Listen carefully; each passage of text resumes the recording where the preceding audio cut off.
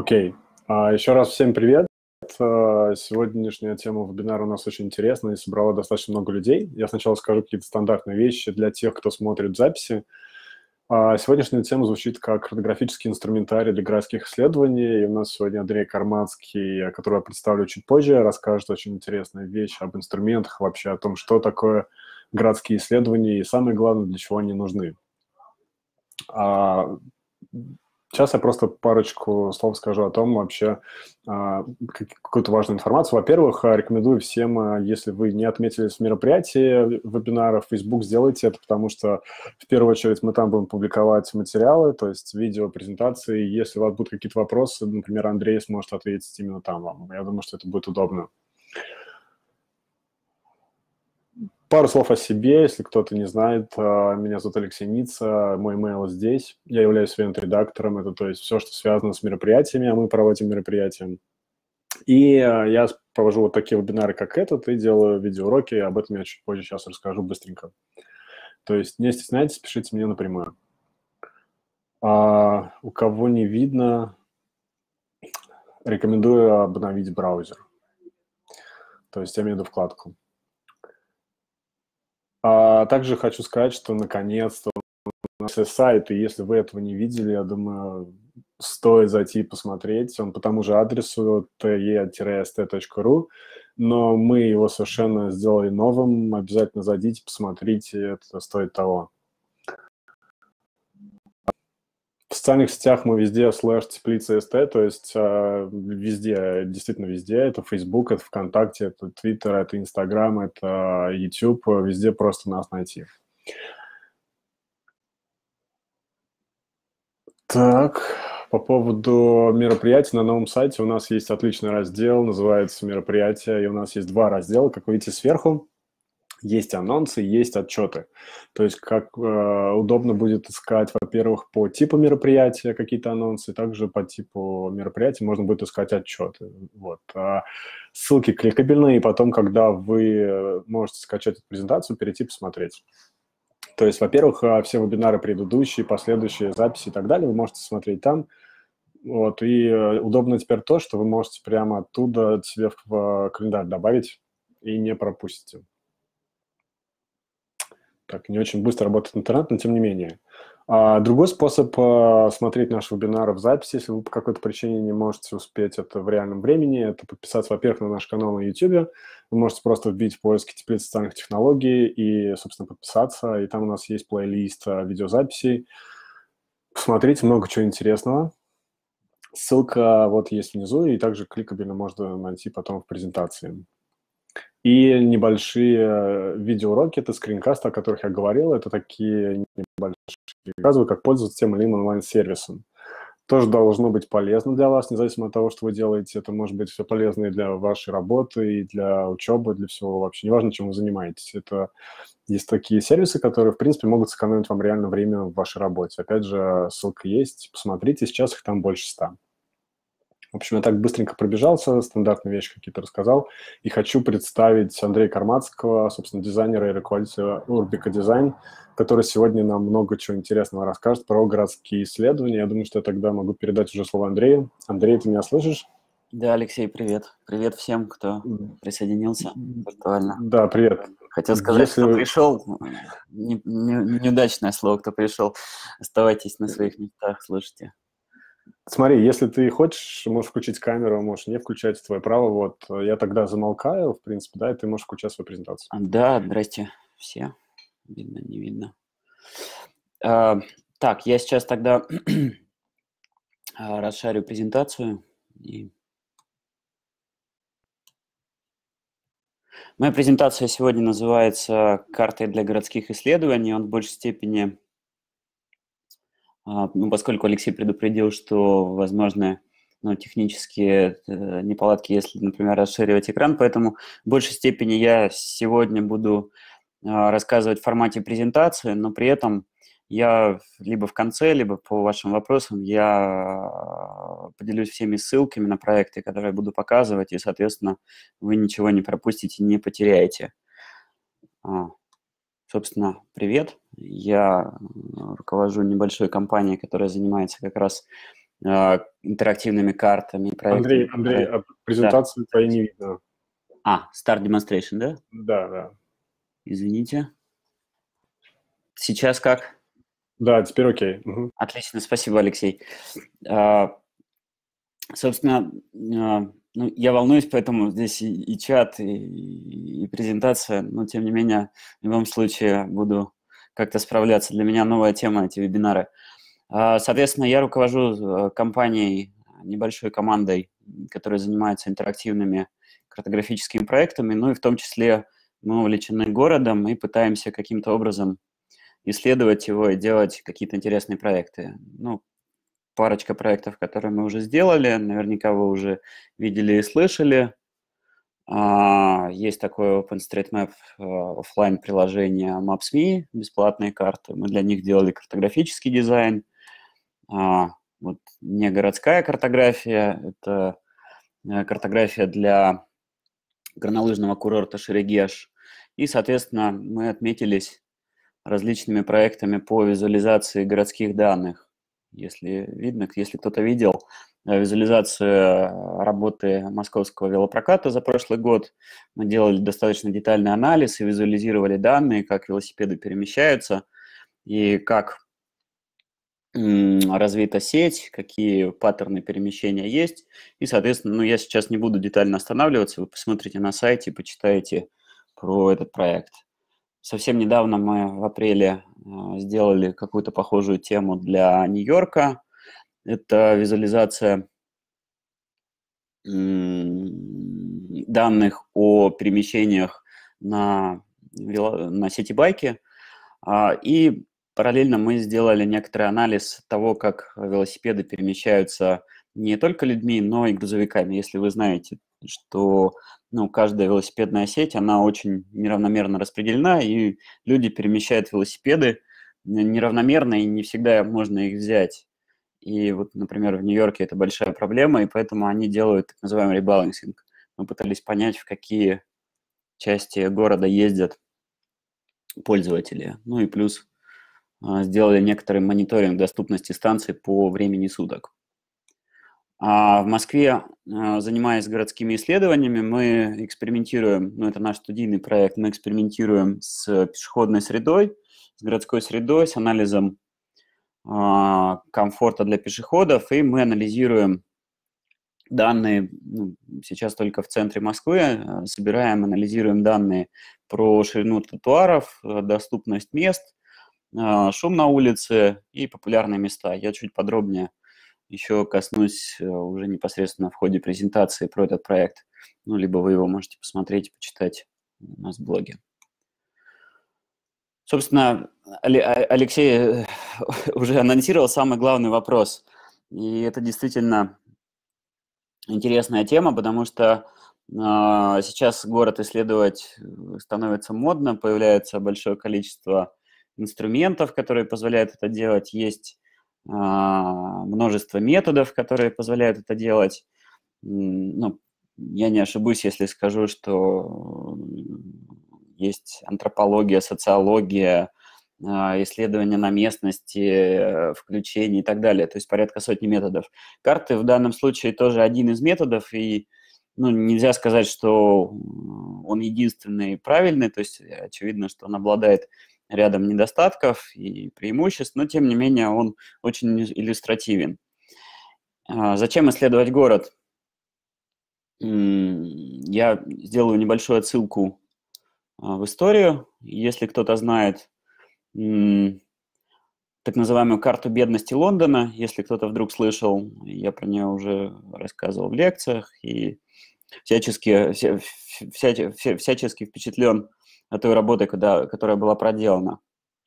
Карта бедности Лондона – это труд э, Чарльза Бута, э, известного ранее промышленника в викторианскую эпоху в Лондоне, который занимался на протяжении 17 лет со своими ассистентами. Они исследовали проблему бедности в городе. И как результат их исследований, то есть они опрашивали жителей, э, спрашивали, как они живут, какие у них проблемы – на протяжении 17 лет они каждый год выпускали э, записки, наблюдения, И раз там в 10 лет у них получилось две карты, они выпускали как раз так называемые карты бедности. То есть карта бедности иллюстрирует э, состояние города по обеспеченности населения. И, соответственно, э, эта карта очень наглядно показывала, насколько общество расслоено, и показывала, ну вот если видите черные здания, темные – это бедные районы, красные – это более обеспеченные, даже не районы, а здания. И мы видим, насколько это все соседствует, и это действительно плохо для общества. И э, в дальнейшем Чарльз Бут, если заинтересуетесь, почитайте э, про него подробнее, он использовал эти данные для того, чтобы доказать о том, что проблема бедности в городе существует, и то, что ей никто не занимается. И во многом, ну, те изменения, которые происходили в Лондоне в начале 20 века, они обязаны как раз этому исследованию.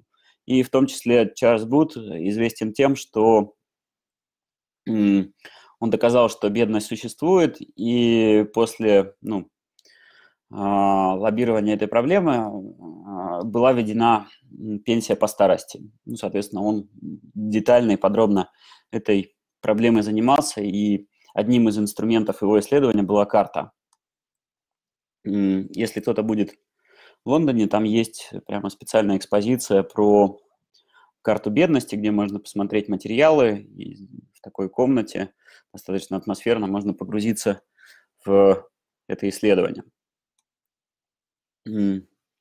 Соответственно, это, на мой взгляд, очень такой впечатляющий и очень э, яркий пример городских данных, которых может быть великое множество. То есть э, понятно, что есть какие-то Э, данные про физические свойства объектов, есть данные э, о социальной жизни, есть данные про различные э, исторические факты, ну и данных великое множество. То есть слоев данных может быть очень много. Поэтому э, вряд ли у меня удастся в формате вебинара и рассказа на час охватить все, но я покажу несколько примеров, э, какие могут быть данные и как можно, и какие проекты бывают, чтобы исследовать город.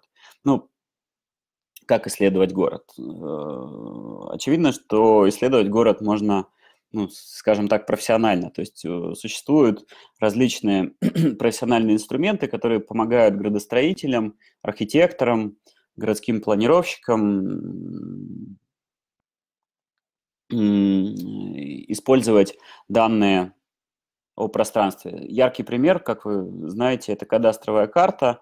Она рассказывает о том, каким образом используется пространство, можно понять адрес объекта, территорию, его площадь, ну и, соответственно, использовать эти данные непосредственно в профессиональном а, планировании и работе. Ну, понятно, что кадастровая карта для а, специалистов – это незаменимый инструмент. Еще один пример. Можно брать данные о социальных исследованиях, ну, в данном случае это перепись населения Великобритании, у них был очень большой срез знаний по прям детальным локациям в 2011 году, и вот э, этот инструментарий э, визуализирует данные о том, каким образом люди добираются на работу э, в Лондоне. И, соответственно, это пример профессиональной реализации отражения городских данных. Еще один пример, ну, если кто-то знает, э, есть такая сфера деятельности, как геомаркетинг. Она занимается тем, что а, помогает бизнесам, ну, например, там, а, ритейлу, либо каким-то бизнесам, которые, либо застройщикам, а, помогает оценить потенциальный спрос в, на территории. И ну, я приведу на примере там, проекта, который мы делали а, в рамках конкурса по реконструкции советских кинотеатров. Мы оценивали в Рязанском районе, там была локация кинотеатра «Восход», мы оценивали потенциальную, ну, потенциальную аудиторию, место, которое мы хотели предложить каким-то образом перестроить и реконструировать. И понятно, что предлагая ну, какую-то коммерческую услугу, нужно понять спрос а, в данном случае спрос можно понять в виде населения, то есть который мы можем охватить. И вот, ну, пример реализации анализа спроса, то есть мы можем построить просто радиус и посмотреть, сколько людей живет. Но очевидно, что город устроен несколько иначе, и э, есть э, естественные препятствия, есть дорожки, и при детальном анализе, например, можно выяснить, что э, мы охватываем в зоне 15-минутной доступности радиусом полтора километра не 52 тысячи человек, а 36 500. Это очень полезные знания именно для формирования какой-либо финансовой модели и ну, предложения спроса. То есть э, очевидно, что данные, ну, за, завышенные и уточненные данные, которые меньше более чем на треть, они дают более точный результат и помогают снизить риски при проектировании каких-то пространств либо территорий. Еще один пример это анализ э, пешеходных потоков. А, ну, существует несколько способов э, анализа э, потоков автомобилей либо пешеходов. Вот пример из Мельбурна, где в одном из центральных районов, ну, в, основном, в основной части города, расставлены 44 датчика, которые замеряют э, пешеходные потоки и исследуют ну, собирают данные о том, сколько пешеходов прошло в данной локации. И результат, например, сбора таких данных может быть анализ а, того, как проходил фестиваль Мамбы а, в Мельбурне, в городе, и по каждой локации можно посмотреть, насколько превышает среднее количество пешеходов, которые были в этой локации. Ну, это помогает, например, городским службам и планировщикам а, планировать подобные мероприятия и в следующий раз, например, каким-то образом предусматривать пешеходные потоки, либо планировать их как-то перераспределять, чтобы было достаточно комфортно в городе во время мероприятий. А, понятно, что а, не все мы с вами городские планировщики, но тем не менее, э, я вот не очень понимаю, грузится ли следующий слайд. Напишите кто-нибудь, пожалуйста, в чат.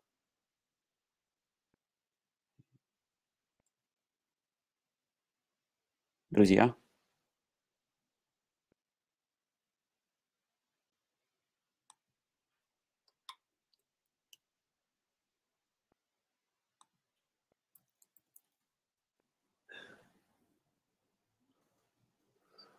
У меня загрузилось. Загрузилось, да? Угу. Ага. Да-да-да. Отлично. Спасибо, спасибо. Видимо, было с задержкой. Спасибо. Да, я вижу. А, Спасибо большое всем, кто написал. А, еще один пример хороший, он очень красивый и иллюстративный. Это анализ э, шума.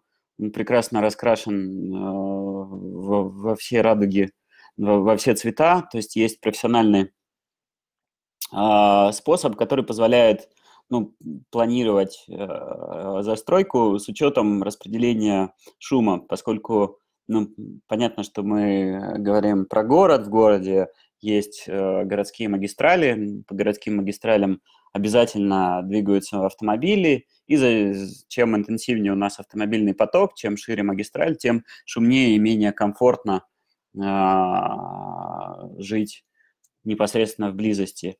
И так называемый noise mapping, он позволяет как минимум понять, э, где можно застраивать, чтобы это было достаточно комфортно. Сразу говорю, что ну, во многих городах а, застройка, жилая застройка за пределами а, допустимых норм и значений, и, соответственно, ну, мы с вами тоже можем наблюдать как это происходит. Я отвечу тут на вопрос э, Дмитрия. Да, это моделирование. Моделирование карт э, шума обычно происходит, ну вот я, я потом дам ссылку, есть пример э, с Берлином, когда моделирование происходит э, как раз на основе потоков автомобильного движения. То есть мы знаем по каждой магистрали, сколько в среднем у нас в разные часы времени, в разные периоды проезжает автомобилей, и можно смоделировать карту шума. Если видите пятно сверху, да, это Берлин, это аэропорт Тигел, и здесь смоделирован шум посадки самолетов, которые заходят на посадку в аэропорту. А понятно, что моделирование, ну, если говорить про профессиональное моделирование, оно верифицируется какими-то точечными замерами, то есть делается модель, и она уже уточняется по реальным замерам какой-нибудь выездной лаборатории, и специальные а, люди делают замеры, сколько децибел, корректируя расчет. Чуть ближе к нам пример. Если кто-то видел и сталкивался с, с социальными исследованиями и наверняка знает, достаточно крупные а, исследования были у Московского института социально-культурных программ. Они делали опрос жителей 160 э, районов э, города Москвы, муниципальных районов, и опрос проводился, по-моему, 12 тысяч человек э, на протяжении двух лет. Они готовили такой результат этих опросов, исследования, это называется «Механика Москвы», где тоже можно посмотреть результаты исследования по различным параметрам. То есть там, ну вот в данном случае это субъективная оценка безопасности, то есть насколько люди себя безопасно ощущают в различных районах. Э, если интересно, посмотрите, я потом ссылку обязательно дам. Почитайте это исследование. А, это касается профессиональных а, инструментов, их тоже можно перечислять э, великое множество, то есть есть очень обширная сфера ГИС, а, исследование геоинформационных систем, и, ну, это действительно очень специальные, специализированные различные исследования, ну и в том числе есть большое количество профессионалов и специалистов, которые этим занимаются. Но тем не менее, сегодняшний день и технологии в каком-то смысле переворачивают а, сферу профессионального, и инструменты визуализации, анализа данных становятся доступны уже нам с вами, обычным людям, не профессионалам. Я сразу скажу, я тоже не профессиональный ни исследователь, ни картограф. Всему научился а, читая интернет и экспериментируя, соответственно, можно а, исследовать персонально. А, ну, казалось бы, исследование слово страшное, но на самом деле персонально каждый может исследовать внезапным образом даже Яндекс карты. То есть э, в каком-то смысле, если вы ищете какую-то локацию либо объект, вы в каком-то, ну, незаметно для себя вы проводите некоторые исследования. Насколько далеко это происходит, насколько подходит вам эта локация. То есть вы оцениваете персонально для себя, ну, некоторые, проводите некоторый анализ визуальный на карте. Еще один пример, опять же, из э, бытовой практики, это поиск недвижимости. Если кто-то знает, такой есть сайт ЦИАН, где можно посмотреть, э, какие объекты недвижимости предлагаются в аренду, и на карте увидеть, например, насколько далеко это э, от парков, какой район, какая застройка, есть ли поблизости промзоны. Ну и в каком-то смысле это тоже исследование каждого человека, который просто берет предложенный ему сервис и начинает э, исследовать. Я, я бы назвал так диванной аналитикой занимается. Ну, оно и понятно, потому что а, аренда или покупка недвижимости – это очень такое дорогостоящее решение, оно требует большого количества времени, чтобы подумать и не ошибиться. Ну и, соответственно, а, каждый человек, который решает подобную задачу, он должен а, взвесить все факторы, которые влияют на его выбор. И, соответственно, внезапным образом человек проводит такое микроисследование для себя, чтобы решить, где а, лучше ему жить. Тем не менее, ну, есть, э, скажем так, исследования, ну, их сложно назвать исследованиями, истории, которые, ну, вероятно, кто-то видел а, различные визуализации зданий по годам постройки, и, ну, просто есть здания, их можно раскрасить в разные цвета, и, соответственно, на, это, на основании этого каждый пользователь, который смотрит на эту карту, может делать какие-нибудь выводы, либо узнавать что-то новое. В данном случае Нью-Йорк. А, проектов великое множество. Я приведу только несколько из них. Бруклин, а, Амстердам. Амстердам очень красивый, похож на космический корабль. Но здесь э, достаточно хорошо видно, а, как застраивался центр и как, как наслаивалась агломерация, то есть как распространялся город. Париж. Ну и если кто-то видел, в 2013 году Меркатор Групп делали э, такую же визуализацию зданий по Москве. Здесь не так много данных, и есть, видите, серые здания, просто не было, видимо, исходных данных, на которых делалась эта визуализация. Но мне здесь очень нравится а, временная шкала. Если увидите, тут даже указка есть, а, если увидите, есть э, различные Меркатор смотрит. Привет, Меркатор. Есть а, отличная временная шкала, которая общается с вами на том, ну, на том уровне и на том языке, который вам более понятен, чем года в числах. И это очень здорово, потому что все очень классно и понятно, потому что, ну, дореволюционная Россия, большевики и Сталин, Хрущев, Брежнев, Черненко, Лужков. Это отличное решение, мне кажется, а, очень здоровское. Так. А, С визуализацией домов э, понятно. Э, есть еще несколько примеров. Есть, я привожу в пример еще обычно на Нью-Йорк, э, где есть такой аналог ну, нашим, нашему активному гражданину, где собираются жалобы от жителей и ну, различная обратная связь о том, что происходит вокруг них. И это очень легко а, собирается. То есть э, а, Нью-Йорк ну, все время собир... Приветствует обратную связь от жителей, и у них есть возможность, э, ну, так называемый телефон 311, где можно пожаловаться на все, что угодно. Ну, в данном случае здесь визуализация жалоб на шум, насколько громко в тех или иных районах, и можно отправить смс, либо позвонить, либо отправить на сайте свою локацию и сказать, там, музыка из ближайшего бара мешает нам спать и прочее, прочее. Ну, соответственно, эти данные э, агрегируются муниципальными службами и выкладываются в интернет для дальнейшего анализа, чтобы каждый мог э, их проанализировать, ну и в том числе публикует эту карту. А, исследования персональные иногда заходят очень далеко и очень интересно. Если кто-то, ну, я тоже поделюсь ссылкой, есть э, такой э, дяденька, его зовут Дэниел Кверсия, а, он известен на TED, TED Talk у него есть про Happy Maps, он рассказывает про то, что из точки А в точку Б, ну, понятно, как добраться, можно кратким путем, но путь, к счастью, не в этом.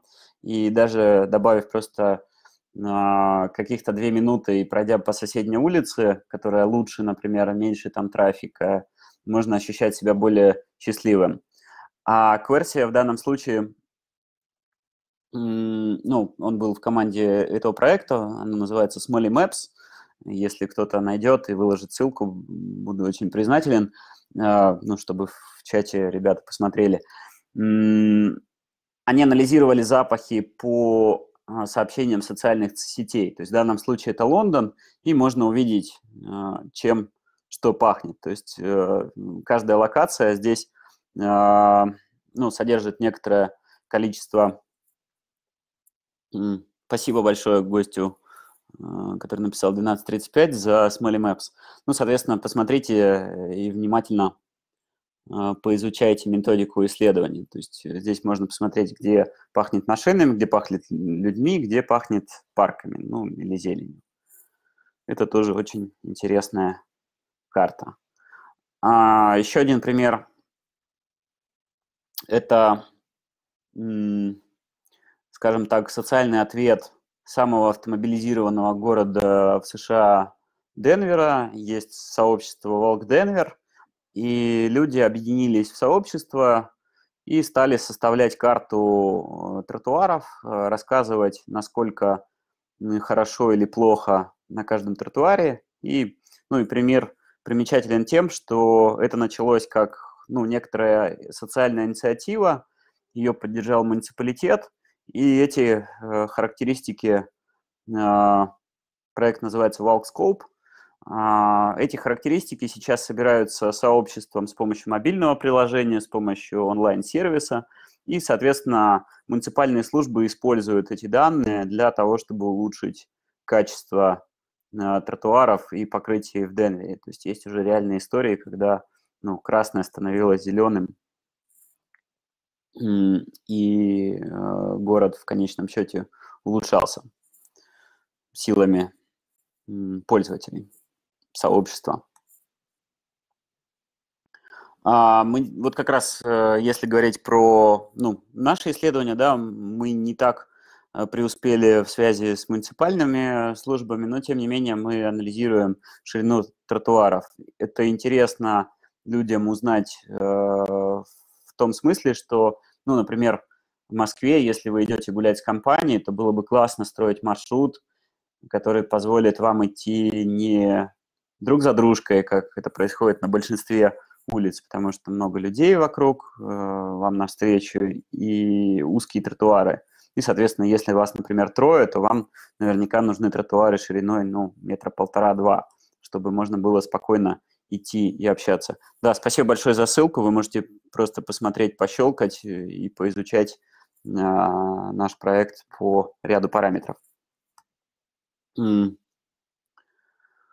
А, еще один, ну, еще один пример такой более вдохновляющий. Есть э, такой э, нью-йоркский художник современный, и он занимался тем, что он исследовал, каким образом город. Он просил прохожих на улице нарисовать на салфетке э, схему прохода к какому-нибудь ну, там, объекту, и он это делал в различных частях города, и в конечном счете он создал карту из э, вот этих салфеток и указаний, и то, как люди воспринимают город. То есть в каком-то смысле это исследование агрегирует знания людей, обычных людей на улице, и ну, составляется некоторая карта а, города. То есть и, ну, здесь пока данных не так много, но тем не менее Манхэттен уже угадывается, и можно прям составить карту из э, салфеток. Так, я сейчас э, переключу презентацию на вторую часть, потому что слайды были разбиты на две части. А вы можете пока, если у вас есть вопросы по части проектов, можете написать их. Я смогу либо сразу ответить, либо проходим. А, к вопросу, кстати, про исследование города. А, восприятие города именно территории. Если кто-то заинтересуется, есть такая книжка, ее написал Кевин Линч. Он занимался как раз тем, что ну, исследовал, как люди воспринимают город. Э, есть такое понятие, как э, карты восприятия. И, соответственно, Кевин Линч написал книжку «Образ города». Там есть методика исследования, как люди воспринимают город и как, как построить ментальные карты для каких-либо из городов.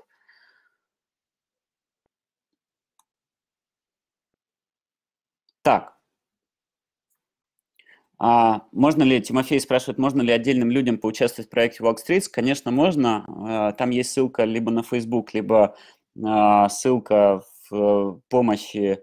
Там есть специальная инструкция, как это можно делать. А, проект строится на OpenStreetMap данных, и все, что вам нужно, взять несколько э, параметров э, об окружающей среде и внести их в OpenStreetMap, и там можно фотографировать. Я вот сейчас как раз коснусь, как можно собирать данные, ну и в частности... Э, Андрей, можно... презентацию твою не видно пока. А, да, хорошо. Так, лучше? Окей. Okay. А, соответственно, э, как можно это делать? Ну, работая вообще с подобными проектами, картографическими, интерактивными, ну, мы для себя выделили несколько активностей, которые позволяют структурировать всю эту деятельность и как-то попытались ее упорядочить. Понятно, что э, не стоит говорить то, что это просто последовательность и, ну, это, скажем так, не, ну, не прям четкая заданная последовательность, но тем не менее просто это некоторые смысловые блоки, которых э, там, я стараюсь придерживаться и ну, разбивать все активности именно на эти четыре направления. Ну, анализ проблемы, очевидно, это самое важное, потому что э, вам нужно понять, какую проблему вы хотите решить, на какую аудиторию вы работаете, делаете вы э, ваше исследование на профессиональное сообщество, это одна история, либо вы хотите ну, создать некоторое сообщение широкой публике, рассказать про какую-то проблему, например, своим друзьям, горожанам, людям, которым это будет интересно. И, соответственно, от этого всегда очень зависит то, каким образом строить проект. То есть э, правильно заданный вопрос, ну, во многом и есть ответ. И в подобных проектах это явно не исключение. Это очень важный этап, Э, понять, какая, как ваша идея может действительно чему-то помочь э, практическому и каким образом вы хотите, ну, то есть взаимодействовать, как, как, как вы хотите донести сообщение и кто ваш конечный пользователь у вашего проекта. Работа с данными – это уже ну, следующий как раз этап, потому что вы придумали некоторую проблему – или нашли, что есть такая проблема, ее нужно решить. И, соответственно, всегда возникает вопрос, э, как же, как же подступиться, а данных нет, и что будем делать. Поэтому сегодня в большей степени, чтобы ну, а, вебинар получился более практическим, я как раз буду говорить в большей степени про данные, потому что визуализация, ну, это крайне простая штука, потому что есть э, достаточно большое количество инструментов. Я дам ссылки на скринкасты и э, дам ну, какие-то ссылки, где вы можете самостоятельно посмотреть туториалы. Тем более, вот, например, Алексей делал прекрасный вебинар про CartaDB. Вы можете найти вебинар про тип, э, у теплицы и посмотреть записи. Во многом это тоже инструмент визуализации достаточно хороший и удобный. Ну и понятная а, понятная активность – это сбор обратной связи. То есть если вы что-то сделали и нет обратной связи, ну, наверное, либо вы что-то сделали не то, либо ваш проект остался незамечен, либо, ну, просто, может быть, обратная связь есть, но ее никто, ну, скажем так, не воспринимает. И, ну, любой проект – это не конечное какое-то произведение, это не, ну, особенно когда мы говорим про диджитал-продукты – это не высечено что-то в камне, это было бы здорово, чтобы это был постоянно меняющийся продукт, который может сам себя улучшать. И, соответственно, чем больше а, обратной связи вы можете собрать, ну, сделав какую-то из версий проекта, тем лучше следующая версия, тем лучше вы можете сделать следующую версию. Опять же, пример с улицами прогулок. Я до сих пор считаю, что проект совсем не готов, и он находится в состоянии прототипа. Я очень надеюсь, что он еще будет находиться ну, в состоянии нескольких прототипов, чтобы считать его достаточно успешным и качественным, потому что во многом мы сейчас просто показываем какие-то собранные данные, но не предоставляем конечным пользователям сервис. То есть мы его задумывали как сервис а, прокладки маршрутов, но прошли сейчас только несколько этапов по сбору данных и обработки их, и в том числе ну, эксперименты с, скажем так, со сбором данных силами краудсорса, это тоже ну, то, что требует, те гипотезы, которые требуют проверки. И, соответственно, все сразу сделать невозможно, поэтому мы двигаемся по, шагами, э, по шагам. И самое важное в подобных ну, вещах – это, очевидно, обратная связь. То есть э, будет, будет очень здорово, если вы напишите обратную связь там про улицы прогулок, либо про проекты, которые мы делаем. Там есть сообщество в Фейсбуке, улицы прогулок, и, соответственно, вы можете, ну, либо мне написать, либо в комментариях какие-то идеи, Плюс ну, лекции, семинары и прочая деятельность, она как раз призвана на то, чтобы собрать какие-то свежие идеи от людей, чтобы попытаться как-то это учесть. Ну, опять же, возвращаясь к самому сложному, это работа с данными. А работа с данными – это, ну, скажем так, процесс, который выглядит тоже страшно, но на самом деле ничего такого страшного в этом нет, потому что ну, данные, если мы говорим про э, гео привязанные данные, они, по сути, ну, обычные данные о территории, и все, чем отличаются данные от геоданных и геоданные, ну, почему данные становятся картографическими, просто у нас есть какой-то срез знаний, и у них появляются координаты, ну, в данном случае географические координаты. Э, если вы вспомните а, географию, то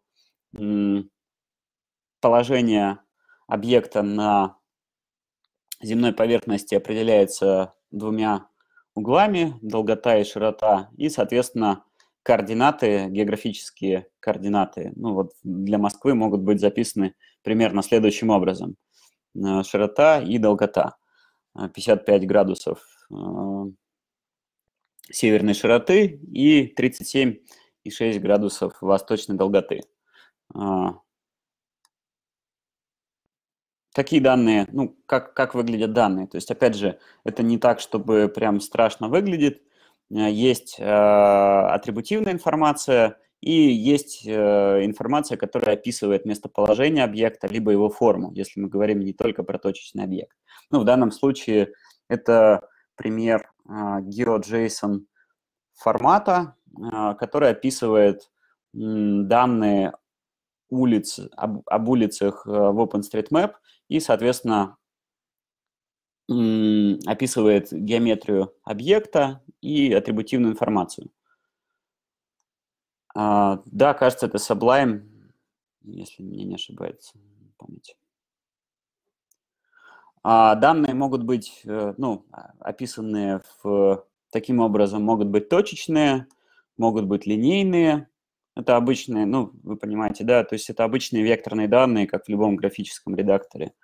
Данные могут быть описаны как полигональные, и ну, пример и принцип, например, визуализации данных заключается примерно в следующем. Вот есть у нас а, слой улиц есть у нас слой улиц, который описывает улицы в OpenStreetMap, и мы видим геометрию этих улиц. При этом у нас есть атрибутивная информация о том, насколько, ну, какие категории улиц у нас есть. А, ну, мы говорим там большая улица, маленькая улица, там есть определенная классификация, и категории описывают в каком-то смысле функциональный класс дороги. И, соответственно,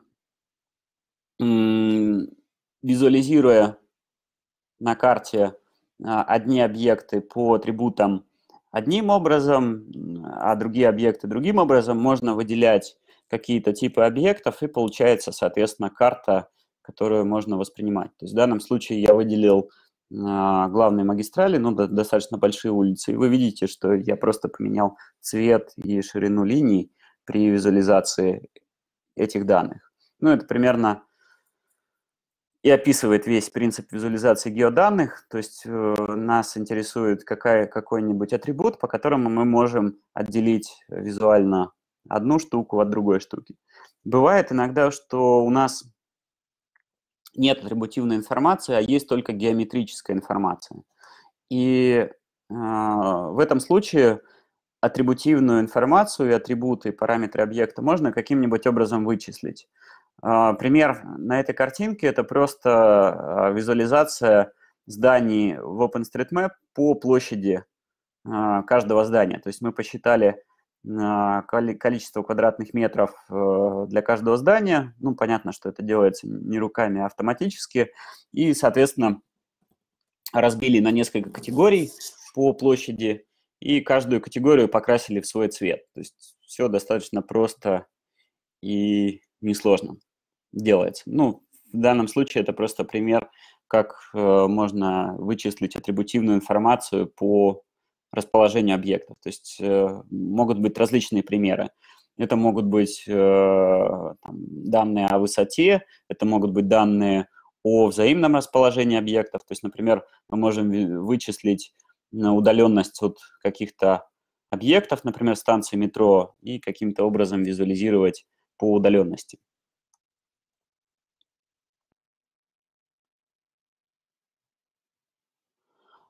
А, так, если говорить про форматы данных и с чем, ну, обычно э, там мы работаем и вообще работают э, все, кто сталкивается с картами, то, э, вероятно, все знают формат CSV.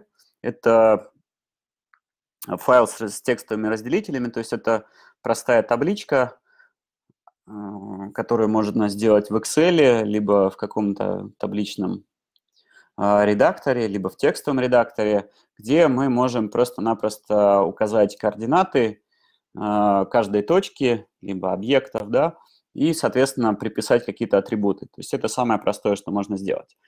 А GeoJSON – это формат э, близкий к программированию на JavaScript, и он стал, ну, в каком-то смысле, форматом де-факто для интерактивных карт в интернете, потому что его очень удобно считывать и очень удобно с ним работать непосредственно в интерактивных картах. И, соответственно, ну, GeoJSON можно встретить в каких-то открытых данных, то есть, вот, например, портал открытых данных правительства Москвы с недавнего времени научился выдавать GeoJSON формат. А более профессиональный формат данных – это shape-файлы, если кто-то поищет информацию и поищет примеры, ну, соответственно, понятно, да, это э, взялось от компании Esri. Esri занимался как раз тем, что и занимается тем, что выпускает профессиональные, профессиональные продукты для GIS-специалистов и для GIS-индустрии. И, соответственно, есть специальный формат обмена. Он называется shapefile.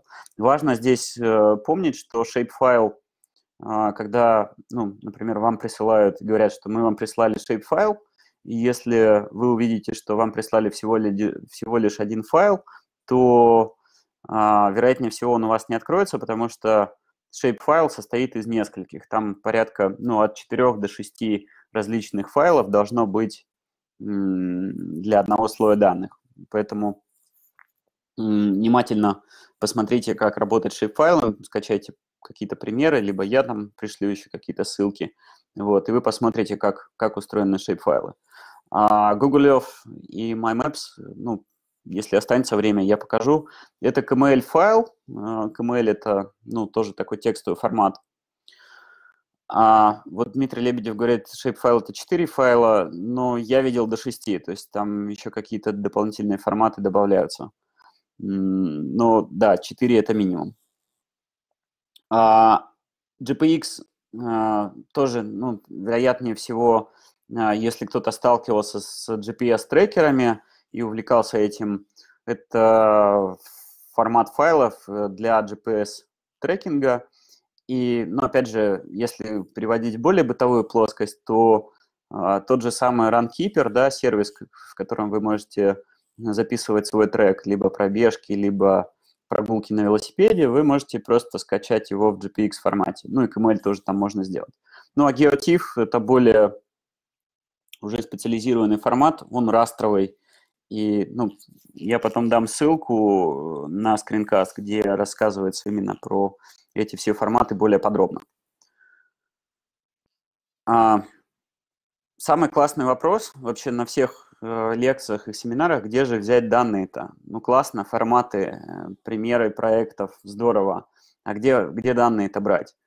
Э, соответственно, ну, самый простой пример и самое, самое простое, что можно придумать, это у вас есть 100-500 э, миллионов долларов, вы просто берете и покупаете данные, которые вам нужны, и делаете различные исследования. Ну, понятно, что э, не у всех есть такие сумасшедшие деньги, и профессиональные данные действительно стоят достаточно дорого ну, потому что они и качественные, и, и там, автоматизируется процесс сбора данных и так далее, да, они верифицируются, ну, это если мы говорим про нормальных поставщиков данных.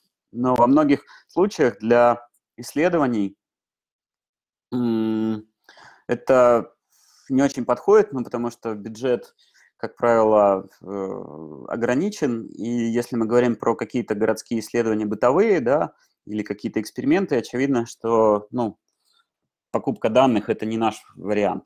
Соответственно, можно искать открытые источники данных, э, богатые а, источники данных, там климатические данные, либо открытые данные порталы. А, и, соответственно, Открытые, от, от, открытые данные можно скачивать из интернета. Я сейчас тоже э, чуть детальнее расскажу, где же, где же можно брать. Э, спрашивают, где покупать данные. У Дарьи, видимо, есть э, бюджет. На самом деле э, данные могут производить либо э, агрегировать э, специализированные фирмы, то есть э, компании, которые занимаются картографией, они, по сути, ну, производят эти данные. То есть они данные могут либо лицензировать вам, это дать во временное пользование с сохранением авторских прав, либо передать права на переработку. Ну, то есть все зависит от того, э, ну, какие данные у вас есть. То есть данные можно, ну, либо там заказать, э, вы просто находите там компанию, которая занимается, например, там сбором данных, они, например, э, занимается полевыми исследованиями в городе и собирает вам какие-то данные, которые вам нужны. Но, опять же, это все зависит от вашей задачи. А, если вернуться к ну, вариантам более реалистичным, иногда бывает, что данные можно собрать самостоятельно, и это тоже ничего страшного в этом нет. И я вам сейчас покажу более детально, как можно собирать данные, ну, либо использовать различные API. То есть э, один из ну, ярких примеров, я не буду сейчас там детально останавливаться, API Яндекс.Карт, э, он, например, отдает данные про справочник. То есть вот сейчас э, в чате обсуждаются два GIS, получается 6, 660, а, 60 тысяч маркеров, 240 тысяч рублей. Ну, например, если вам нужно отображать кафе или, ну, например, там какую-нибудь категорию бизнесов на собственном сайте, ну, там, я не знаю, сделать какую-то выборку данных, то, ну, и у 2GIS, и у Яндекс.Карт есть просто API, где вы можете сделать запрос, то, что вам нужно, и показывать на сайте, э, ну, во многих случаях э, бесплатно. То есть вы не скачиваете данные, вы, вы просто ну, делаете запрос и предоставляете доступ к этим данным там, с соблюдением всех лицензионных ограничений, которые э, выставляют там, ребята типа Яндекса и 2GIS. То есть там во многом нужно просто сохранить ссылку, копирайт и ну, указать, какие данные вы используете. Собственно, про открытые данные, да, ну, понятно, что не обязательно ваши данные должны быть уже в готовом виде, и вы можете посмотреть на сайтах государственной статистики, Росстат, Мосгорстат, э, те же самые данные по населению, по составу жителей и так далее, они имеются там, то есть все, что вам нужно, вам нужно просто связать геометрическую информацию с данными атрибутивными про каждый район. То есть это тоже ну, не такая уж сложная задача по обработке. Вот пример да, открытых данных, которые можно использовать. Собственно, портал открытых данных э, города Москвы, он тоже предоставляет вам возможность скачать э, данные, ну, во-первых, посмотреть, что за данные, там есть различное большое количество наборов данных разной степени актуальности э, и наполненности, но тем не менее эти данные э, ну, можно использовать либо как для тренировки, либо для первичного наполнения и уточнения, потому что всегда вопрос про данные ну, состоит из трех. А, нас интересует, как обычно, ну, качество да, данных, и если мы хотим сделать хороший сервис, то обязательно нужно посмотреть на полноту данных, все ли объекты в этом наборе, точность, насколько мы э, не обманываем с этими данными, ну и провести какую-то верификацию тех данных, которые э, вы скачиваете. Поэтому здесь нужно быть всегда очень осторожным. Ну, и держать это в голове. Вот пример открытых данных города Москвы, да, у них есть прекрасный набор данных про точки общественного питания, там порядка 12 э, тысяч заведений. Сразу скажу, это явно не все, что есть, потому что если сравнивать с тем же, ну, там, Foursquare, да, как бы эти данные не, не, не точны, не полны, то есть они обновляются не так быстро. Но, тем не менее, э, в данных, которые есть у DataMost, например, оказались данные не только про типы э, точек общественного питания, но и, например, число посадочных мест, чего нет в Foursquare, для примера, да, и таким образом можно узнать, что самая большая столовая – это трапезная храма, в храме Христа Спасителя, а самый большой по числу посадочных мест ресторан – это Макдональдс на Пушкинской площади. Еще пример данных с Datamos. Можно ну, достаточно легко, там, минут за пять, э, визуализировать данные и узнать, где, в каких районах, сколько стоит парковка а, в час. Тоже эти данные опубликованы. Так, э, вот пример с Петербургом. У них есть портал открытых данных, э, и вот есть набор отличный из 10 тысяч, там 9338 объектов культурного наследия. Там уже в чате проскальзывала ссылка на сайт реформа ЖКХ, и действительно, эти данные тоже есть. Практически весь жилой фонд, ну, в разных городах, честно скажу, по-разному, потому что полнота данных все-таки, ну, и точность здесь страдает, и нужно внимательно проверять. Например, жилищный фонд э, по всем городам можно посмотреть на сайте реформа ЖКХ. И эти данные тоже можно посмотреть и в дальнейшем скачать для использования.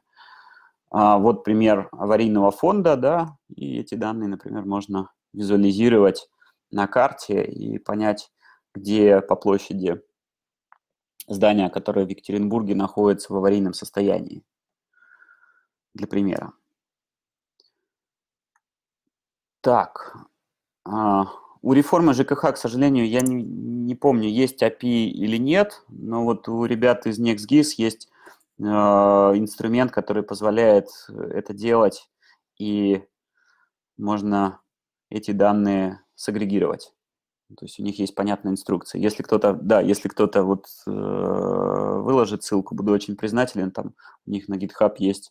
Ну, то есть там единственное требуется минимальные познания по запуску скриптов в Python, но тем не менее, как бы, я думаю, что с этим уж реально разобраться.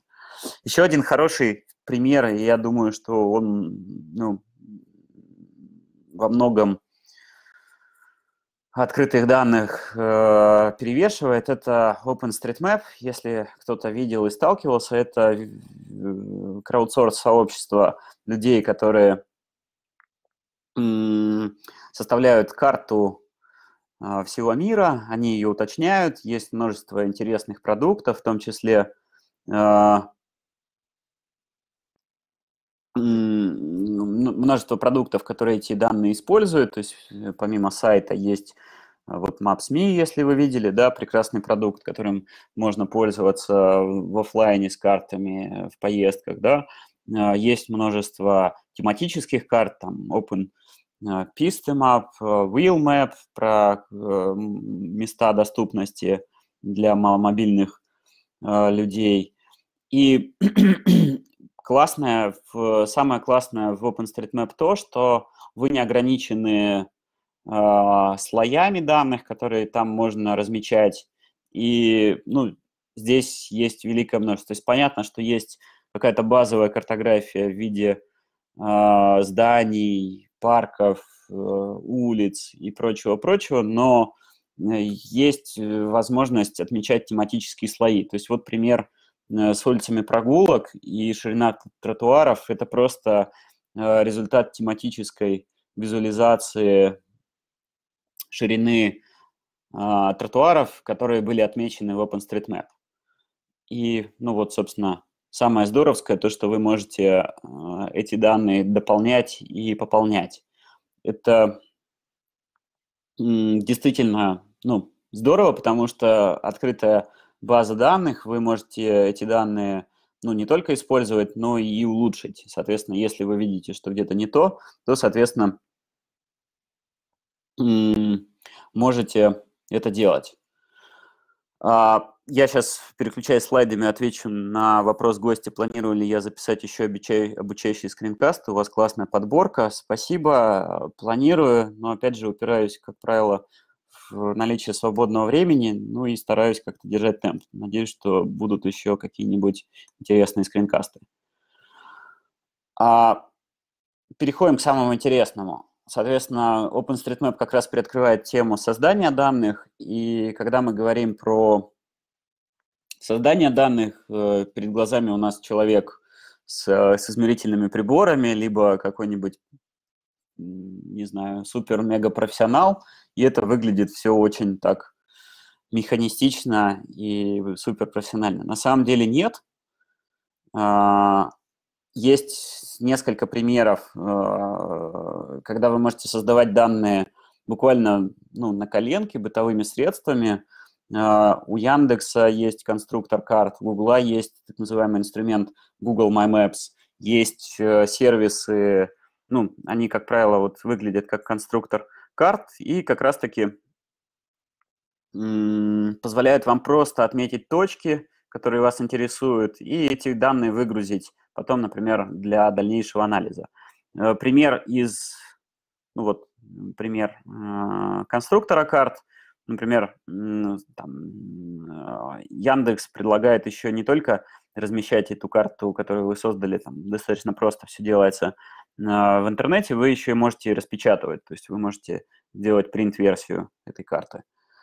А, пример из реального проекта, опять же, если сделать отсылку на проект которым мы помогали с созданием концепции для реконструкции советских кинотеатров, то у нас возникла задача сбора данных об этнографии, и нам нужно было организовать работу группы а, исследователей, которые в городе опрашивали людей, делали какие-то наблюдения, и нам нужно было каким-то ну, достаточно быстрым образом организовать их работу. И в Google My Maps, например, есть возможность э, добавить несколько логинов и э, несколько людей для коллаборативной работы над одной картой. То есть в каком-то смысле эти данные ну, не очень нужны, например, э, в контексте OpenStreetMap сообщества, ну, потому что это такой разовый проект, но сделать быструю отметку э, данных и какую-то тематическую карту для дальнейшего анализа, то есть вы можете прямо в Google My Maps э, прямо коллективно. То есть э, прелесть в том, то, что это делается буквально, ну, сам, сам инструментарий очень простой, вы ставите точки, рисуете линии, а на выходе вы получаете данные, которые вы можете уже анализировать. А, ну да, если вы выходите в город делать какие-то исследования, очевидно, что ну, есть несколько способов э, сбора данных. То есть э, самый простой и понятный, у которого никогда не сядет батарейка, его видно на солнце, это бумажка, ручка, и это в данном случае пример распечатки карты из OpenStreetMap, которую мы использовали для сбора данных в ширине тротуаров. То есть, э, соответственно, э, выйдя в город, можно отмечать данные и потом их внести непосредственно в OpenStreetMap после прогулки. То есть можно просто внести эти данные в OpenStreetMap, то есть указать те параметры, которые были. А, есть способ, ну, опять же, если касаться OpenStreetMap, есть способ более технологичный, ну, кому как больше нравится. То есть мне нравится, например, больше сначала делать бумажную карту и на ней отмечать, а потом вносить эти все результаты. Но есть, например, серия мобильных приложений для iPhone и для Android, которые позволяют редактировать карту ну, в OpenStreetMap, либо э, в других сервисах. Э, и, соответственно, вы можете прямо непосредственно в ходе перемещений э, или, не знаю, в ходе прогулки вы можете делать исследования на ходу. В данном случае это iPhone приложение, называется Go Map, и здесь все достаточно просто. То есть вы можете рисовать объекты и заполнять атрибутивную информацию. Так. Ну вот так были собраны данные про тротуары. и мобильно, и бумажно. Помимо э, данных картографических, ну, в проекте, например, про улицы прогулок, мы еще и фотофиксировали, что происходит на улице. И есть такой замечательный сервис, он называется Mapillary. Это тоже краудсорс сообщество, где вы можете включить мобильное приложение, и он там с периодичностью в несколько секунд, то есть вам все, что нужно, вам нужно просто ну, навести мобильник на улицу и просто пойти. И он будет там делать снимки примерно, по-моему, каждые 5 секунд, и потом склеит это в такую панорамку, панораму, по которой вы можете перемещаться. То есть вы э, там, прошлись по улице, наснимали там несколько сотен слайдов, кадров, да, и, соответственно, появился Wi-Fi, пришли домой, залили, и у вас фактически трек. Э, прелесть э, ну, этого инструмента в том, то, что вы эти данные же тоже можете использовать в API, что мы и делали для улиц прогулок. Замеры шума. Это, ну, опять же, вот в улицах прогулок, если видели там карта шума, мы ее собирали тоже в каком-то смысле на коленке. То есть мы не разрабатывали никаких инструментов, и все данные про а, замеры шума мы просто храним сейчас в специальном аккаунте в Инстаграме, он называется NoiseMap, там порядка сотни замеров, и мы взяли приложение, оно называлось InstaDecibel, все, что оно умеет делать, оно э, берет замер уровня шума с вашего микрофона на мобильнике и делает фоточку в Инстаграм, и, соответственно, с помощью API в Инстаграм можно брать данные и об этих замерах и использовать уже непосредственно для анализа. То есть в каком-то смысле это такое простое наколеночное решение, не разрабатывать какую-то свою базу, а сделать ну, первые какие-то прототипы на коленке. Вот пример, да, усредненного карты шума, которую мы собрали в процессе прогулок. Еще один пример хороший, который я приведу, это Э, проект Юры Назарова, он архитектор, он, ну, ему нравится ездить на велике, и он занимается тем, что он составляет э, удобные веломаршруты по Москве и ну, пытается рассказать, где удобно проехать, где неудобно, отмечает опасные места, э, либо места, где удобно пересечь какую-то магистраль. И ну, я его попросил рассказать, как он это делает. Он поделился своим секретом, Секрет на самом деле очень прост. Э, если кто-то видел э, сервис Strava, он такой же, как Runkeeper, то есть вы записываете свои треки, и Strava раз в год делает визуализацию. А, спасибо, Алексей, за ссылку. Да, вот у Юры уже есть электронная версия и сообщество в Фейсбуке «Веломаршруты Москва», если кому-то интересно.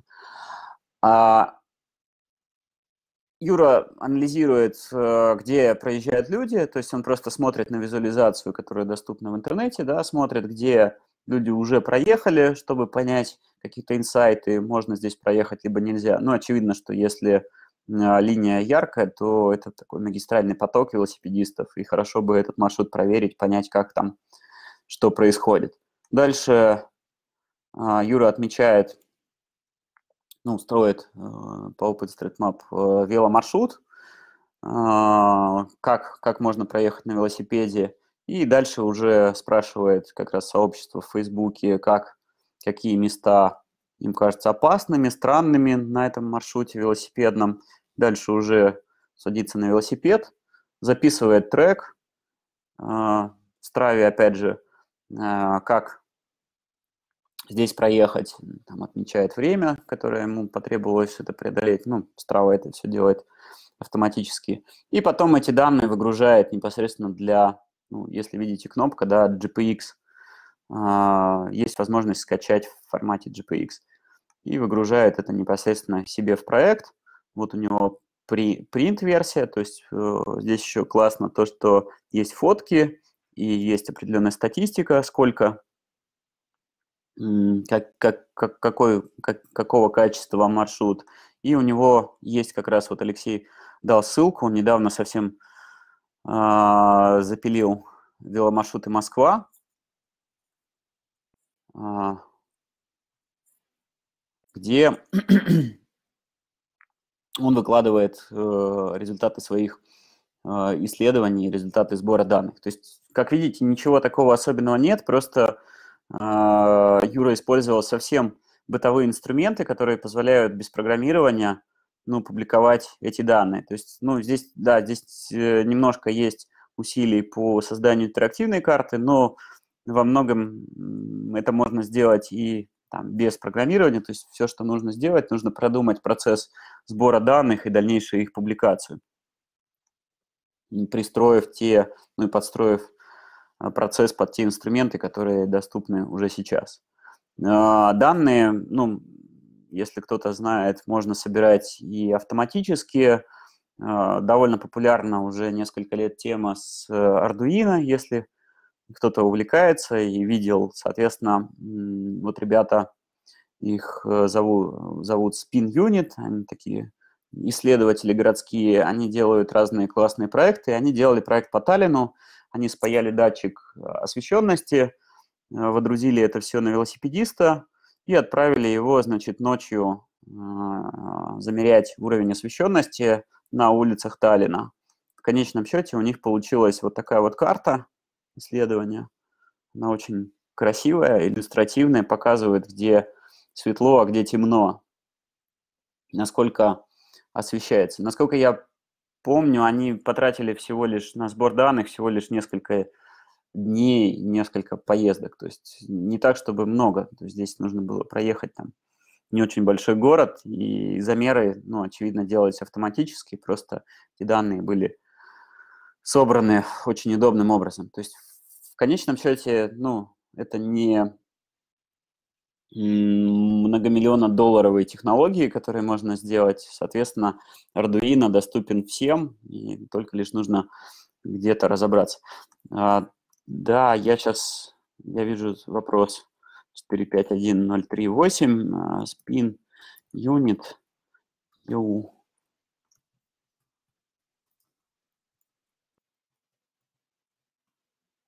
Вот эта ссылка, э, по ссылке вы можете найти их исследования, в том числе и про Таллин. У них там есть еще анализ э, социальных сетей для города Турку. Они там пытались понять, можно ли запускать линию трамвая, где центр социальной активности. В общем, посмотрите, почитайте.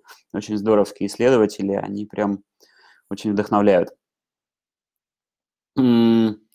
Некоторые люди, ну, которые паяют э, устройство на Arduino, они объединяются вместе, ну, видимо, им в одиночестве становится скучно, и, соответственно, образуются различные сообщества.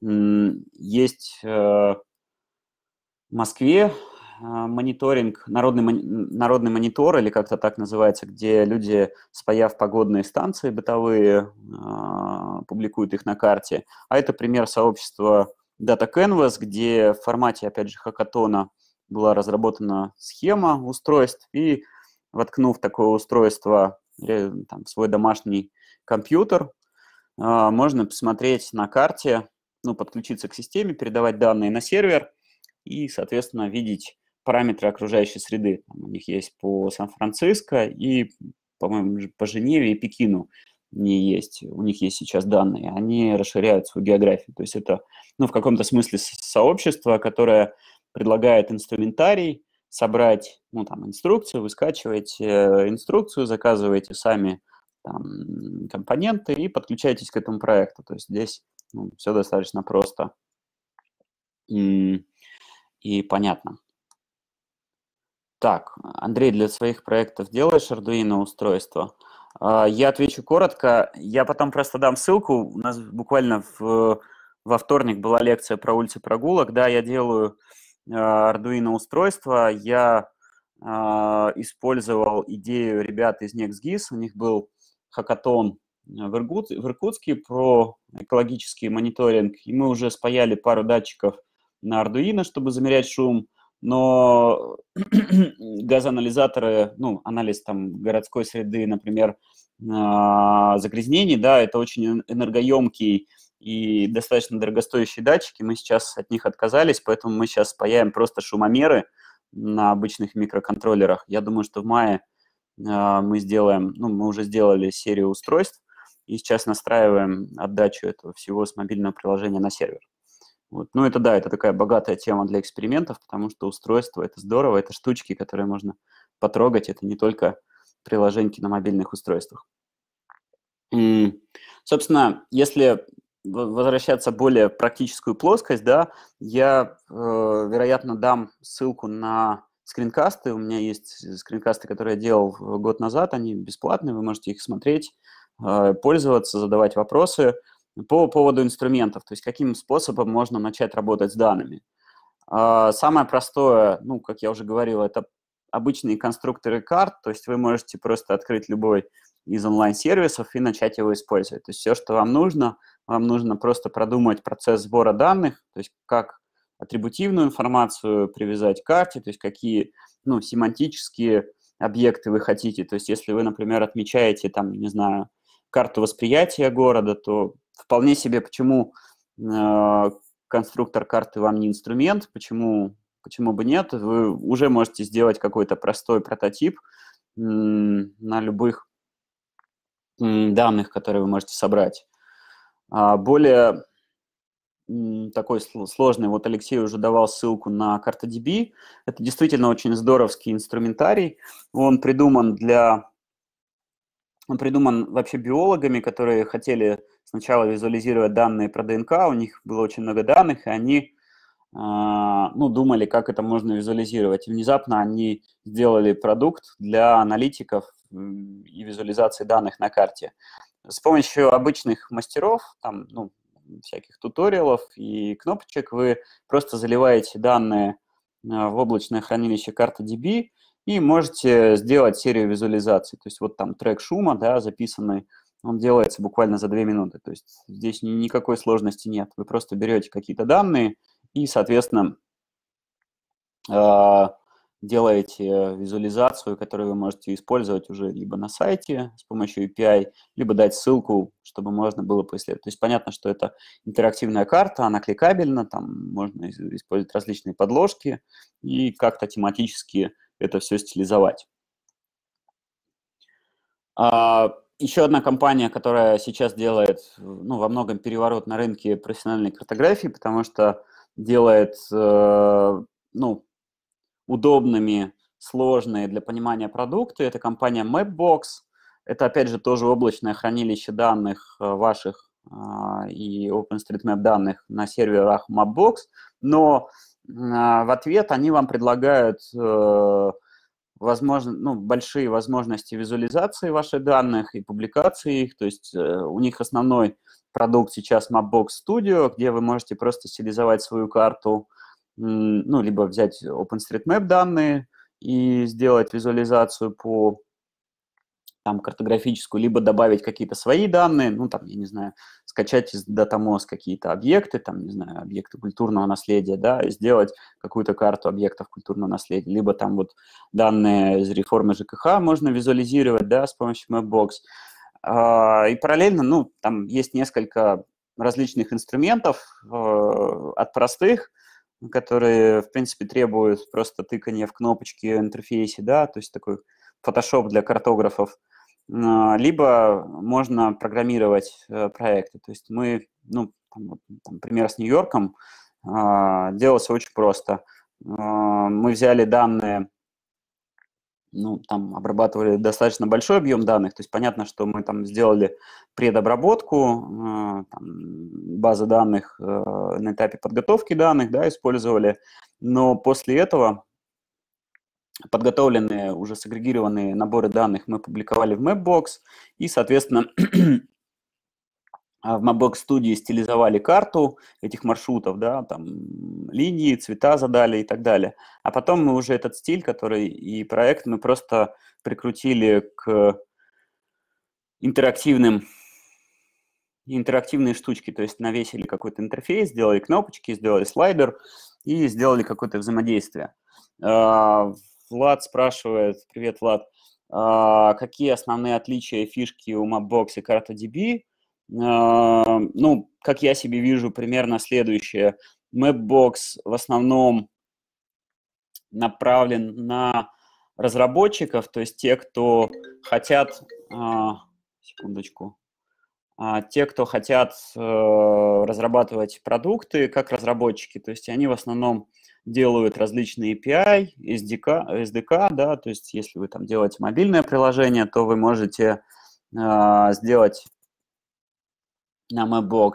А карта DB в большей степени нацелены на аудиторию аналитиков, то есть там, где вы можете, ничего не программируя, э, сделать какую-то классную визуализацию. То есть, понятно, в каком-то смысле, ну, продукты выглядят похожим, идея у них общая по хранению данных и хостингу, да, то есть, в принципе, ну, многие проекты можно создать как на CartaDB, так и на Mapbox, но в основном различия, ну, как мне видится, примерно следующие. То есть Mapbox более заточен на разработческие какие-то штуки, на более, э, ну, не сказать, что сложные, более такие э, кастомные, да, решения э, GIS. А карта DB направлен в большей степени на какую-то story, ну, скажем так, storytelling, визуальную журналистику данных, публикацию данных и какие-то быстрые инструменты. Но при этом они очень э, простые и быстрые. ArcGIS онлайн не рассматриваю, у них там, ну, слово страшно про я его никогда не, не выговорю, если кто-то напишет его правильно, без ошибок, будет очень здорово. Ну, во-первых, это закрытая система, во-вторых, э, она требует, очевидно, денег, и то, что даже есть у них бесплатное, ну, это в каком-то смысле уловка, и понятно, что, ну, в общем, на мой взгляд, ArcGIS онлайн не стоит тех денег, которые они потом будут с вас просить, когда вы будете делать продукт. На мой взгляд, э, вот, да, да. Вот вы можете, можете поупражняться в написании проприетарных э, систем. Имеется в виду, что эта система закрытая, вы не сможете, например, модифицировать код. А, Mapbox и CartaDB в основном строятся на открытых данных, и, соответственно, ну, это очень здорово, это очень сильно растит сообщество разработчиков, и ну, во многом это класснее, чем закрытые системы. Вот. Влад написал из, из рая акулы капитализма. Да, правда, а, акулы капитализма, они, ну, в каком-то смысле а, каждому своя ниша. Очевидно, что если мы говорим про какие-то бытовые эксперименты, либо несложные проекты, то открытые данные и открытые проекты, естественно, это оптимальное решение. Но если мы говорим, например, про какие-то сложные системы, то, ну, в основном там в нефтяном бизнесе, да, либо там какие-то ГИС, профессиональные решения, заказчик платит не за, а, за открытость кода, а за то, могут ли они эту систему, например, обслуживать э, на протяжении там, 10-15 лет. И во многом ну, закрытость системы или ее дороговизна часто объясняется ну, поддержкой и, скажем так, ну, уверенностью то, что компания там и продукт будут поддержаны. Вот Исрай в большей степени берет деньги за то, что их продукт поддерживается, развивается. Ну, насколько я знаю. Так, а, да, спасибо, Энди Гоу. Mapbox э, – простой инструмент для создания кастомных стилей, это правда. Вот. Не буду холиварить на тему целей Исрай, втянуть в свою инфраструктуру – Mobbox э, тоже вас хочет втянуть в свою инфраструктуру, просто делает это, это аккуратно и красивее с открытыми данными, но очевидно, что они тоже э, в какой-то момент времени э, будут просить у вас деньги, потому что, ну, там простые проекты делаются бесплатно, сложные проекты, очевидно, что, ну, вы делаете, вероятнее всего, за деньги, и, ну, используя Mapbox, вы экономите на создании собственной инфраструктуры, и, соответственно, для вас ну, в какой-то момент времени, там, делая профессиональный продукт, все равно возникнет ситуация, когда вам нужно будет вкладываться в инфраструктуру, либо вам нужно будет самим ее разрабатывать, либо покупать какое-то решение. Это очевидно. Так, а, соответственно, ну, бли, ближе к профессиональным продуктам это Quantum GIS. Тоже посмотрите скринкасты, обязательно а, пишут, что прервалась трансляция. Но я тебя слышу, вижу, так что... Так, ребята, я сейчас перевыключил микрофон. Э, слышно, наверное, да, Алексей? Да, слышно.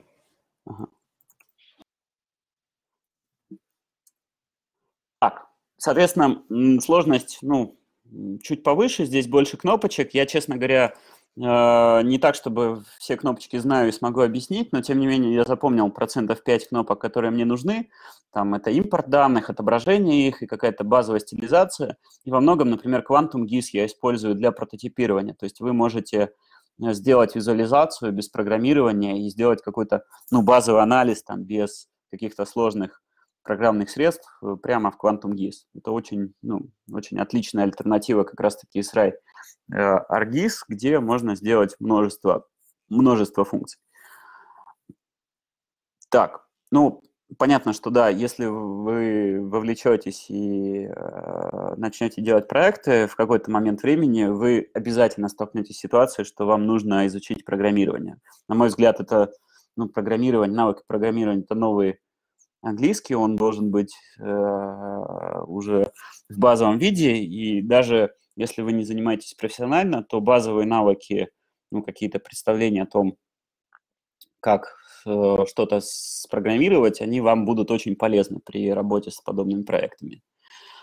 А, так, соответственно, ну, для, для меня лично как бы приятнее работать JavaScript. Э, JavaScript это, ну, все, все думают, что это в каком-то смысле э, просто веб-странички HTML, CSS, и это, поверьте, уже немало, потому что э, улицы прогулок сделаны без единой строчки серверного кода, э, велики, велобайки, публикованные нью-йоркские, это тоже всего лишь э, HTML и CSS, э, и, соответственно, ну, обработка данных, она тоже может быть э, с помощью JavaScript, на сервере есть такая технология, как Node.js, э, которая позволяет запускать JavaScript э, на сервере и обрабатывать большие объемы данных и обслуживать ну, прямо на сервере запросы.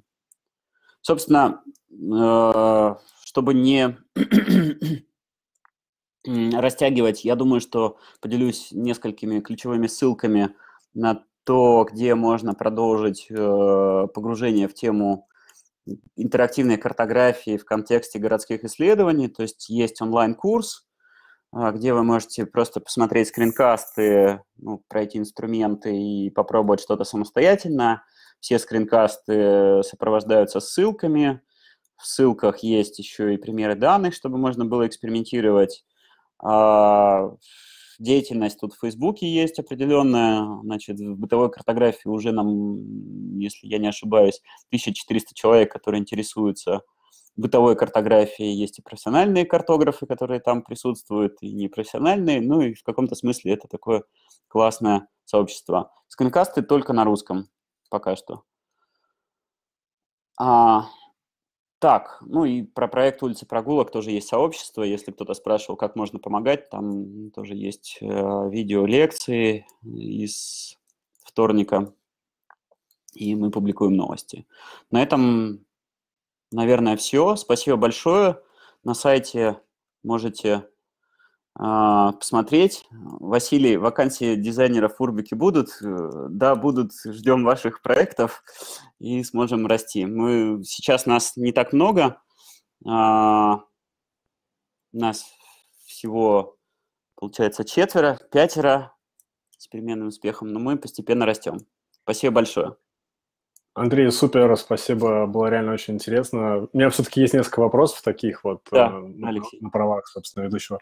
А, ну, то есть, резюмируя, да, получается, что, конечно, очень важно исследовать города и как бы визуализировать данные, собирать эти данные, но а, вот если мы используем в проектах не API, а, а вот собранные вручную данные или как-то еще, то как часто их нужно обновлять? То есть актуальность вот таких проектов, она сколько длится или как это вообще получается обновление? То есть, например, там улица прогулок, да, ведь город меняется, как часто вы планируете обновлять? Ну, э, поскольку как раз-таки мы говорили, например, про ширину тротуаров, если мы вспомним, что в 2016-2017 году э, там есть э, такой проект «Моя улица», да, который задумал город, он собирается перестроить порядка двух тысяч улиц и перекопать кучу тротуаров, то очевидно, что менять эти данные нужно очень часто. Именно поэтому мы рассчитываем на силы сообщества, которые нам помогут обновлять эти данные. То есть там, ну, буквально на днях, я думаю, что мы запустим автообновление, и все данные, которые есть в OpenStreetMap, они будут автоматически появляться на сервисе. Вот. То, То есть это все очень зависит от, ну, как бы от э, того, насколько меняются данные. То есть пример, там, я не знаю, с велопарковками, да, он, ну, в большей степени там, ну, там данные меняются столько, сколько велобайк строит парковок, да, а данные там, ну, опять же, как, как оно меняется в реальности, желательно приблизить эту, ну, этот темп к электронным сервисам, если это возможно, конечно. Ну, то есть заведомо, когда мы думаем о проекте, мы должны же задуматься о том, как обновлять эти данные, да? Да, да, обязательно. Это прям, ну, это ключевой вопрос на этапе анализа проблемы. То есть сбор данных всегда нужно производить только тогда, когда вы знаете, как вы будете эти данные обновлять. То есть как часто вы будете эти данные обновлять. То есть частота обновления – это действительно очень важный вопрос, который ну, нужно прям держать в самом начале проекта и закладываться Вопрос такой, ты говорил о том, что вот в Нью-Йорке привозил пример проекта, это он, у них есть телефон 311, а вот э, есть ли что-то подобное в Москве и будет ли, как ты вообще думаешь, где по телефону можно сообщать о городских проблемах или вообще есть ли что-то подобное? Я слышал, в Питере есть как раз э, портал э, городских проблем. Я не вспомню его название, если кто-то вспомнит, там у них есть э, ну, портал данных, где они собирают жалобы от э, ну, жителей. Ну, мне, мне кажется, это немного не то же, нет? Это не, ведь не совсем портал а, сбора жалоб, или это именно... Не, это портал сбора жалоб. То есть телефон 311 – это служба, которая, соответственно, обрабатывает жалобы, и они публикуют открытые данные про все жалобы. И данные опубликованные, они уже используются другими разработчиками, ну, активистами, да, то есть вот карта шума, она просто была сделана на основе данных, которые были опубликованы. И, соответственно, как бы, ну, если мы имеем открытые данные исходные, да, мы можем делать какие-то, ну, а, анализ, исследования этих данных и как-то использовать эти данные для каких-то тематических проектов. Вот в Москве я, я не знаю, то есть, в принципе, есть вот город, город Мосру, я не знаю, есть ли у них открытые данные, ну, чтобы их можно было скачать и использовать. Пример, там, не знаю, вот э, я знаю, есть служба, она называется МОС Эко-мониторинг, у них есть данные там про, ну, не очень актуальные, но тем не менее данные про жалобы на шум на стройплощадках. То есть, возможно, что, может быть, mm-hmm. из этого можно сделать. Вот ну, в чате, э, ребята пишут, да, пишут в чате, что что-то есть. Я думаю, что и по регионам, и по другим городам, ну, вероятнее всего, есть какие-то инициативы, которые это делают. Вот. Угу. Так, ну какие-то вопросы сейчас я посмотрю, тоже были, нет. А, ну, Дима спрашивает, Андрей, был ли опыт взаимодействия сбор данных с сообществами, например, собаководов? Нет, к сожалению. Вот. Я, я понимаю проблему, потому что у меня действительно в округе тоже негде гулять с собаками. Я знаю три-четыре собачьих площадки. Вот, я бы с удовольствием куда-то их законтрибьютил, но сил самостоятельно сделать такой проект у меня пока не хватило. Как раз возможность для тех, кто сейчас слушает, может быть, сделать свой проект какой-то после твоих семинаров. Да, можно в OpenStreetMap отметить все собачьи площадки, там они далеко не все, я вот те, которые знаю, отметил, для примера. Можно из этого сделать. Андрей, вы этим зарабатываете? Да, я этим зарабатываю. Да, это же круто делать полезный проект и еще зарабатывать. Так, а, я просто хочу скинуть ссылку на фейсбучное мероприятие. Просто я думаю, что если у кого-то будут вопросы, и ты, Андрей, можешь, наверное, там ответить или как-то да, отлично. Ну, я, да, да, да, я думаю, что... менее оперативно, потому что еще и как раз э, к вопросу Вадима зарабатываю. Да, мне нужно будет сегодня еще чуть-чуть поработать. Окей, okay. в общем, тогда огромное спасибо тебе большое, что ты уделил столько времени, действительно было интересно. В общем, а, будет видео и будут ссылки, я это все опубликую. Вот, да, и можете что... писать мне или в мероприятии, да. Ну, в общем, я дам контакты, и можно будет найтись. Все супер, тогда спасибо. еще раз огромное спасибо тебе. Спасибо, спасибо всем. Спасибо большое.